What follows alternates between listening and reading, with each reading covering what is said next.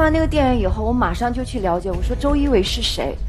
我非常非常喜欢你，我特别希望跟周一围有交流的机会和探讨的机会。想必很多人还记得这个场景。二零一八年，章子怡在节目上公开表白周一围，称自己很喜欢他，并且希望能与周一围有合作机会。从画面中不难看出来，面对周一围的时候，章子怡一改之前高冷的形象，并且在这档节目结束之后，章子怡后期在看到自己喜欢的演员时，也总是偶尔会提起周一围，可见章子怡对周一围确实是打心眼里的喜欢，也是真心想要合作。没过多久，章子怡的这个梦想就实现了。原本只出演电影的她，主演了电视剧《上阳赋》女主角，男主角就是她很喜爱的周一围。而且不少网友扒出来，这部电视剧投资方就是章子怡本人，男主角周一围也是她钦定的。虽然说这部电视剧播出之后被吐槽的很厉害，不过在剧中，章子怡和周一围两个人的感情戏却真的很不错。章子怡看着周一围时候的笑容，总是那么的甜美灿烂，看上去就像是少女春心乱动。周一围看着章子怡的时候，眼神中除了霸道之外，只剩下满满的宠溺深情。两个人在剧中的表现，看上去就像是真情流露一样，没有丝毫演绎的痕迹。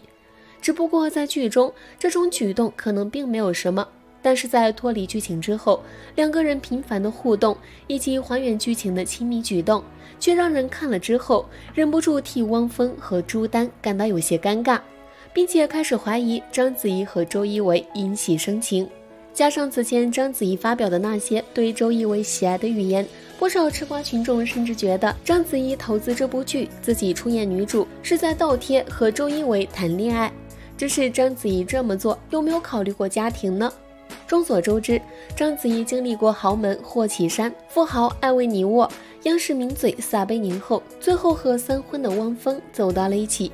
虽然期间很多人不看好两人的婚姻，但两个人的感情十分的稳定，时常会在社交平台秀恩爱，甚至在电视剧《上阳赋》拍摄期间，汪峰更是带着两个孩子全程跟组。随后，汪峰还在社交平台上发文感慨跟组的经历，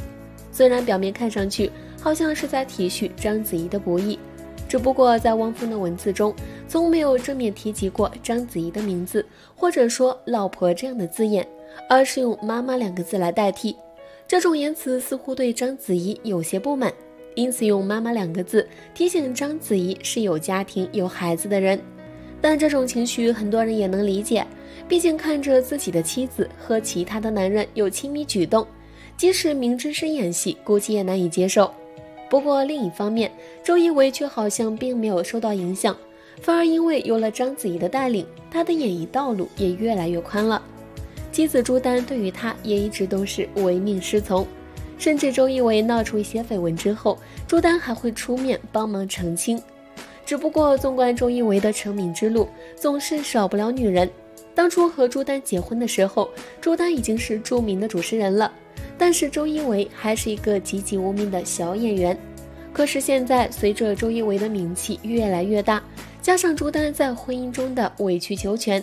这段婚姻似乎也成了他人口中的笑话。不过朱丹既然付出这么多，周一围也不会轻易辜负这样一个全心全意为自己的女人吧。